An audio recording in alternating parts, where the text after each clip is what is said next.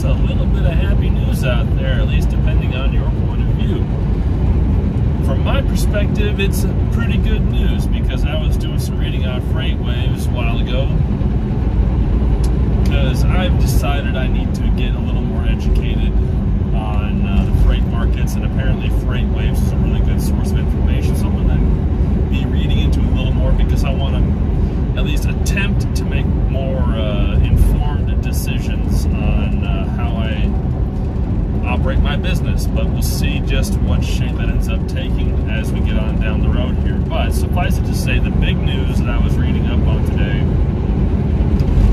is that uh, energy markets, namely, you know, diesel and crude oil, and well, crude oil and then diesel and everything that comes out of it, essentially, uh, because as of now, at least on April 30th, 2024, Israel and Iran have declined to escalate into a shooting war. Uh, that has stalled the uh, crude oil price benchmarks from climbing up to and past $100 per barrel, and instead there's there already have been some signs of the uh, prices receding, along with some different markets in the U.S. have already begun uh, forecasting, if not pricing, energy at uh, lower rates than previously, which does generally seem to be signaling some good news as we get closer and closer to the actual summer season for this year, which in theory, in theory, of course, being the operative phrase there, means that fuel prices will be a little bit lower uh, as we leave spring and transition to summer, again, in theory, which in turn would theoretically suggest that uh, even if rates do not improve, and at least so far as I'm aware, they don't show any signs of being inclined to improve, but I could be wrong. Uh, even if freight rates don't improve, but again, generally hold steady, uh, if fuel cost does decline, as all of us hope it will, uh, that means our margins should be a little healthier going into summer, which again does forecast good things, or at least better things, uh, for trucking as we get closer and closer to summer, and then we begin uh, the press towards the holiday season 2024, and of course also the election, and God knows what kind of mess that will inflict upon all of us on a national and international level as well. But that's neither here nor there.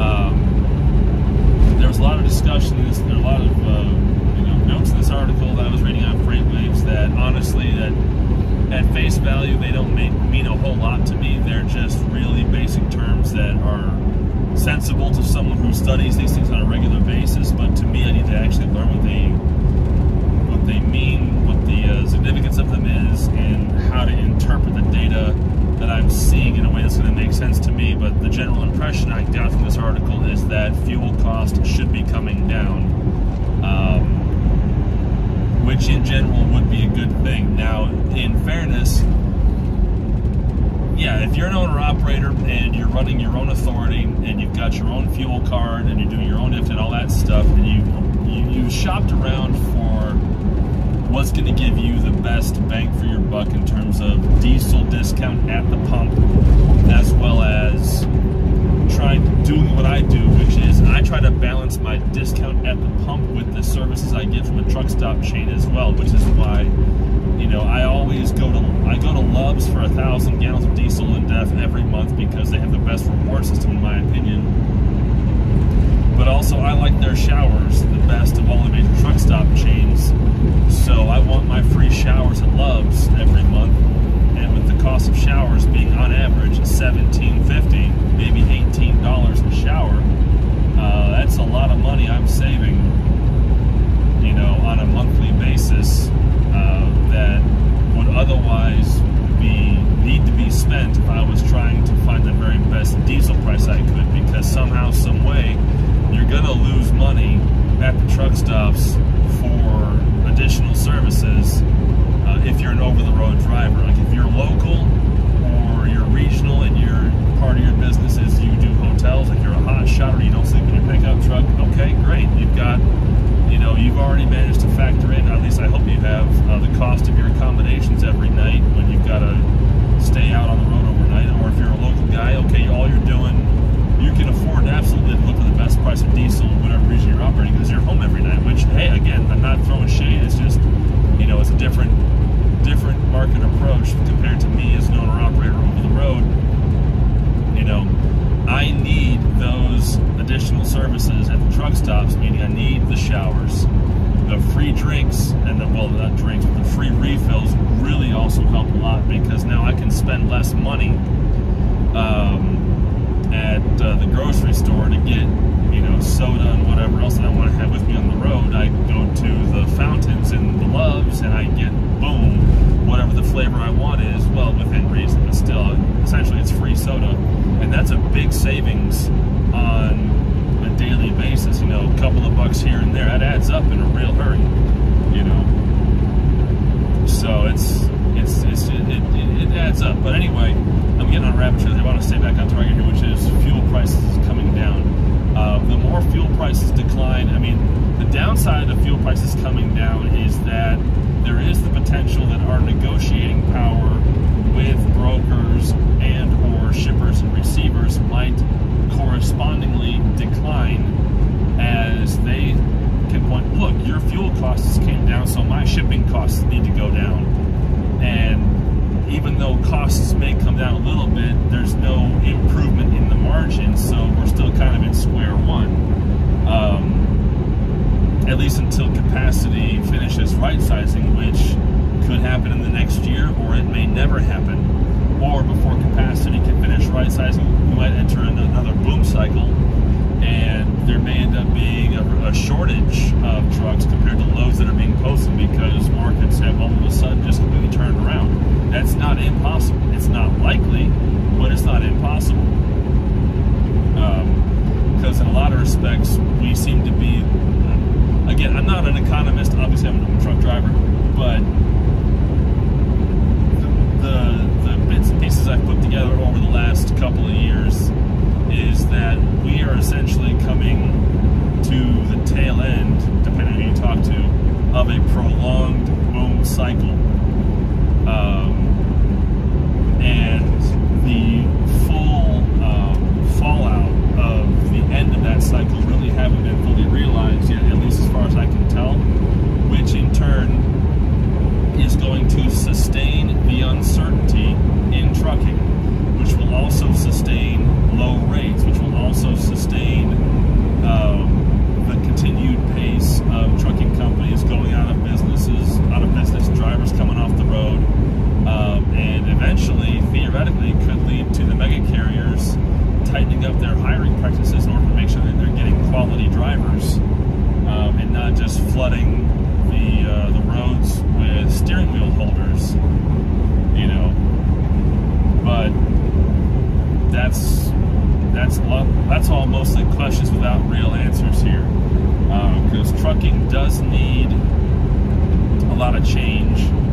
Um, it does bear some serious improvement. Um, it also needs some different regulations in terms of how it's governed and in terms of what um, rights we are afforded in terms of our ability to negotiate. Uh,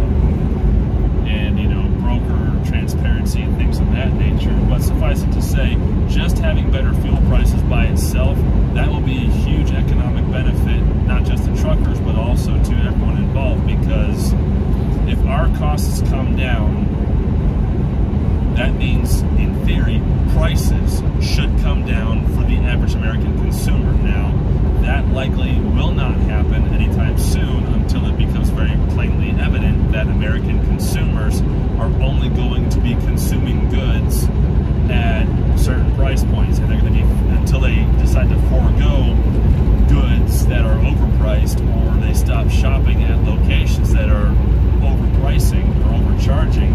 You know, prices will remain elevated. At least that's my assessment of it. I could be wrong. Again, I'm not an economist, and there's a lot I've forgotten from economics classes in high school and college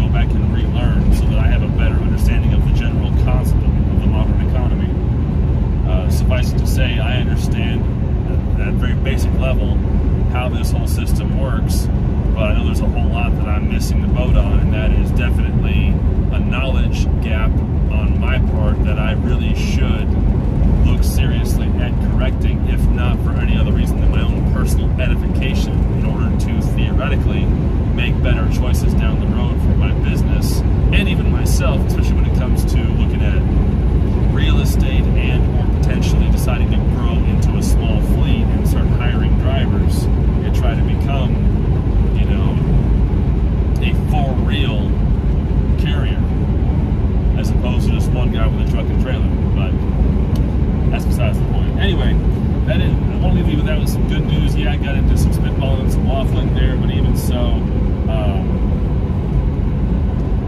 the, uh, as long as we really do see lower energy prices coming into the summer, that will make that will probably ease some of the doomsaying about this year and the economy. But at the same time, it's way too soon to really concretely speculate on which way things are going to go because even though fuel costs may end up coming down to um, within visual range of the realm of sanity, there's still no guarantee that we'll get back down to sub $3 fuel anytime soon. And we really need, in order for trucking to be sustainable in its current uh, uh, environment, we need fuel to get down under three on a national average. Like three dollars plus diesel should be an outlier, not the not the oh that's a discount. No, we should be seeing three dollar diesel as oof, that's overpriced instead of oh wow, it's a steal. You know, that's how it should be, but that's not how it is, obviously. But uh, time will tell if that happens again. We'll see. Uh, especially as energy policy has to change regardless, because without energy, the economy doesn't move, and if the economy doesn't move, uh, no one makes money. And if no one's making money, the banks buy new politicians.